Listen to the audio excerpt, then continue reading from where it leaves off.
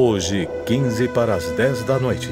As dificuldades podem parecer grandes barreiras na vida de um homem. O que você quer que eu te faça?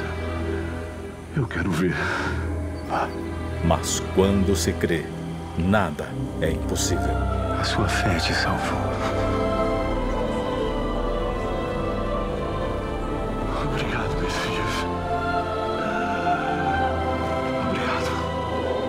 Obrigado. Jesus,